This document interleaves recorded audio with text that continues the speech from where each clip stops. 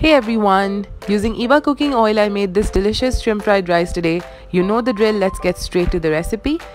To prepare the sauce I've taken regular soy sauce followed by oyster sauce, dark soy sauce, white pepper powder, chili sauce and one chicken cube. We're just going to mix it all together and set it aside. Crack two large eggs in another bowl, whisk them together and set them aside as well. I'm using shrimps for the recipe. You can also use chicken. These are cleaned and deveined. This is the sauce we prepared, minced ginger garlic, vegetables, eggs and of course Eva cooking oil. The new 4-layer metallized packaging of Eva cooking oil ensures that it stays fresh for long. Add Eva cooking oil to the pan and heat it up before you add the ginger and garlic.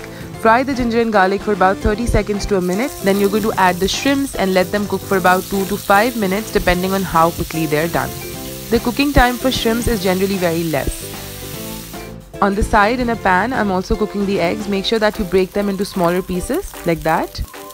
Moving back to the prawns, I've added all the diced vegetables. I've used bell peppers, capsicum, spring onions and carrots. Then I've added rice to it. We're just going to mix it well together.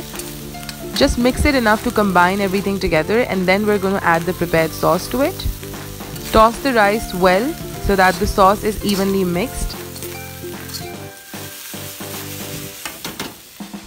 Finish off by adding the eggs.